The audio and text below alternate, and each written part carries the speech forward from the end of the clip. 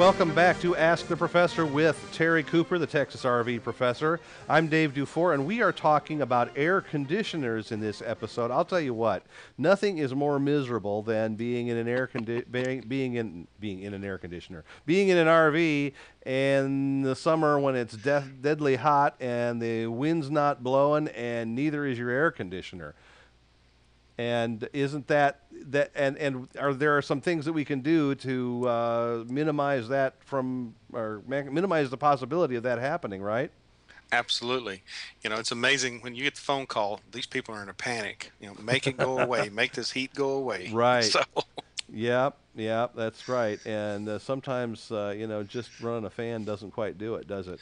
So No. what what's the principle that we're talking about here? And for well, what what can we do to make sure that uh, the air conditioners last longer and and work better while they last? Well, believe it or not, it's just a little bit of maintenance. That's really the big issue. And then watch the voltage we use. And if you have those two things, do a little maintenance and watch the voltage, these babies will last a long time. And when we say airflow is everything, that is no joke. You'd be surprised how many times a technician will pull that filter down and that thing will be so clogged up that it's not allowing very much air at all through there. And people are complaining, we just can't understand why that air conditioner is running. Uh, it's running up the electric bill, but it's not cooling. It's because it's not getting any airflow. It has to have air, good airflow coming in in order to get good airflow going out. Okay, so, so that's this- why we always recommend everybody clean those filters. And you know, I have the questions come up all the time about, well, can I do this? Can I do that? And all really just clean the filter, and Right. that's really about it. The uh, the uh, uh, I, I would assume that since a lot of RVers also travel with pets, that uh, pet owning RVers maybe have to do this a little bit more often. oh man, you're going into treacherous ground here when you start talking like that, Dave. Hey, I'm a veterinarian son. I know all about cat hair. I'll tell you right now.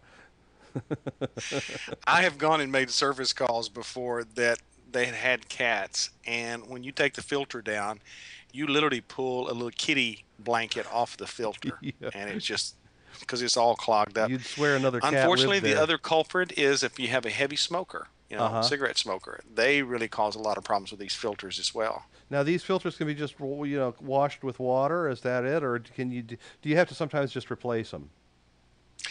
Well, I've seen them so bad you have to replace them, but for the most part, a little soap and water in the kitchen sink or someplace where you can get access to running water. Mm-hmm. Soap it up, rinse it, and then just let it set out and dry, and you can put it back in there and you're ready to go again. Mm-hmm. And you know, like I say, after a period of time, they, you know, you may have to do a replacement, but for the most part, if you just change them, clean them, they'll go. They'll go a long time. Mm-hmm.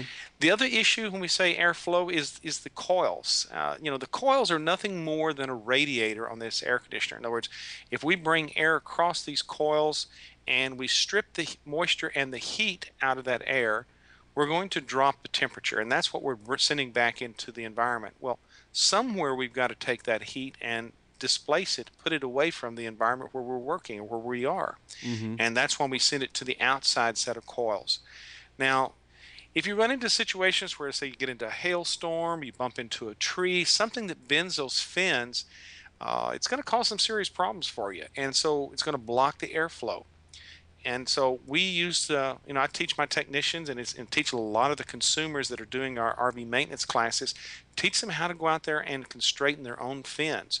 I mean, when you figure the cost of an air conditioner to have it installed is about a thousand dollars, and you can go out there and spend oh 20, 30 minutes with a fin comb and straighten those fins up and get that airflow going, you've saved yourself some money right there. Okay.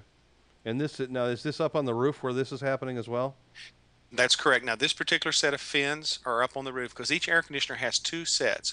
One on the roof uh, that the discharge air comes out, and then the other one is where the the fresh air that's inside the compartment that air passes through. Okay. But primarily, the one that we see more damage with is the one on the outside. Right. Yeah. And uh, so, if you, but and it's usually with you know hitting something or something something hitting Correct, it yeah. as well. Mm. So then, after we clean those fins, then we can uh, what what's next? Then I, I, we've got a slide here, just rinsing them down. It is. I mean, occasionally you'll run into a situation to where you'll see a set of fins that maybe been in a real bad dust storm, or maybe they've gotten a, a lot of bugs, and you may want to hose it down. because you know, here again, it's like a radiator on, on our automobile. If it gets all clogged up with gunk, dirt, bugs, grasshoppers, whatever, you know, airflow is not going to come through. If the airflow can't come through, we don't get rid of the heat, and mm. that's the only way we get the heat from inside the compartment to get it out. Any advantage to using like a, a, pressure washer or something like that? Well, my reluctance to use a pressure washer is because those fins on that air conditioner are so uh, so small and the real fragile uh, aluminum mm-hmm. that if you if you hit that pressure washer just right, you'll bend those fins over, and now you're creating more problems for yourself. That's right. You might get rid of Mr. Grasshopper, but you're going to have a bigger problem in the end, right? That's right. so usually a garden hose and a little old hand brush is, is all you need. Okay. Now we have to be careful because uh, those fins are sharp. So you know my recommendation is is that if you've got any concerns about it, wear a pair of gloves. Right. Yeah. Okay. Great. Um, we're going to uh, return in just a couple of minutes with uh, more from the Texas RV professor. We're going to talk a little bit about electricity and how uh, how you have to be careful with you know the combination of, of your air conditioner and having the right electricity is is very very important. And then we're going to have some questions from you folks.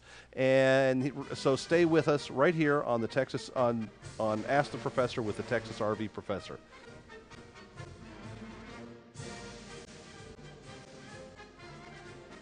The Texas RV Professor wants to hear from you. Email your questions or comments to professor at rvnn.tv. If you have a specific problem, it really helps if you can send a photo as well. That makes it easier for Terry to diagnose your issue. You can also leave a voicemail for Terry Cooper at 877 578 RVNN extension 708. Follow RV Newsnet on Facebook and Twitter, and you can receive text messages to alert you when we're streaming live by texting RVNN to 72727. That way, you can join us live in the chat room, ask questions, and become part of the RV Newsnet family. Remember, any photos or other material submitted to us become the property of RV Newsnet and cannot be returned.